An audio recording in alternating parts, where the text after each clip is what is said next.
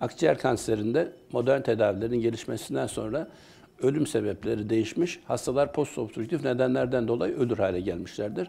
Kemoterapiye bağlı hastalarda yaşam süresi uzayacağı yerde kısalması onkologları düşündürmüş ve endobronşiyel komponentlerin tedavi edilmesi gerektiği fikri ortaya çıkmıştır.